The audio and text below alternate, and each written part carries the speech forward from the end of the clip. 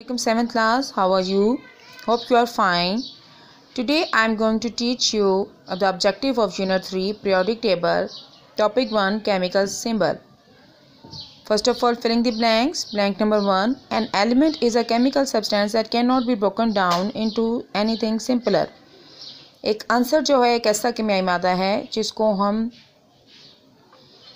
आसानी से can not be broken down into anything simpler में हम उसको तोड़ फोड़ नहीं कर सकते हैं। Thank number two all matter is made up of elements तमाम चीज़ें आंसर यानी एलिमेंट से मिलकर बनी हैं। Number three diamonds contain only carbon atom diamond जो है, वो कार्बन एटम से मिलकर बना होता है। डायमंड जो कि, जिसको हम हीरा भी कहते हैं।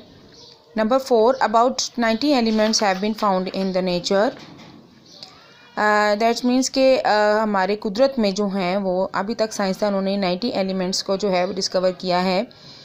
Number five the word atom means indivisible atom का मतलब है जो कि तकसीम ना हो सके। Number six the nucleus consist of proton and neutron इसका मतलब है कि एटम uh, के न्यूक्लियस में जो है वो प्रोटॉन और न्यूट्रॉन्स होते हैं। Number seven electrons carry negative charge और इलेक्ट्रॉन पर जो है वो मनफी चार्ज होता है।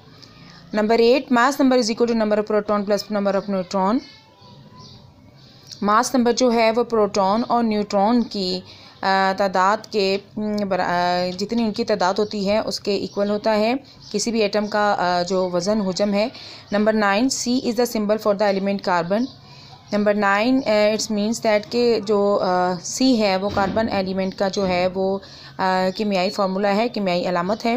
Number ten proton carry positive charge यानी कि प्रोटॉन पर जो है वो मस्बत चार्ज होता है. ना choose the best the word atom comes from the dash word atom option Latin Greek English and the answer is Greek symbol of iron is dash iron का सिंबल कौन है? G I F is the right answer helium has two electrons and dash protons two and new two neutrons option two three four and the right answer is two यानी helium में two ही electrons होते हैं two protons होते हैं और to he neutrons होते हैं।